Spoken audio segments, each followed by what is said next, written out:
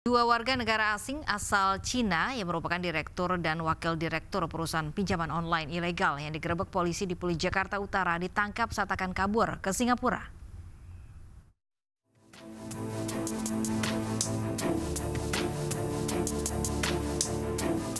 Satuan Reserse Kriminal Khusus Polres Metro Jakarta Utara menangkap dua WNA Cina, yakni Direktur dan Wakil Direktur Perusahaan Pinjaman Online Ilegal PT Vega Data dan PT Barakuda Fintech saat hendak kabur ke Singapura melalui pelabuhan Hasim Barelang, Batam.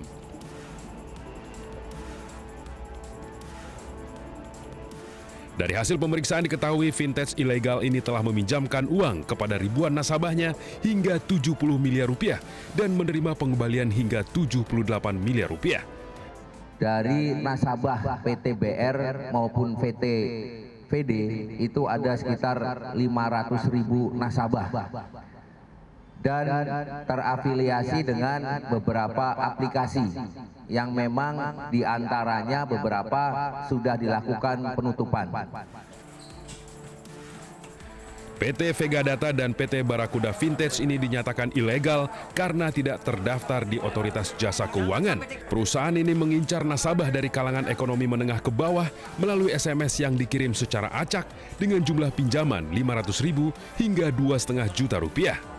Namun dalam prakteknya, jika nasabah terlambat membayar, selain dikenakan denda Rp50.000 per hari, nasabah juga diteror dan bahkan difitnah oleh penagih hutang.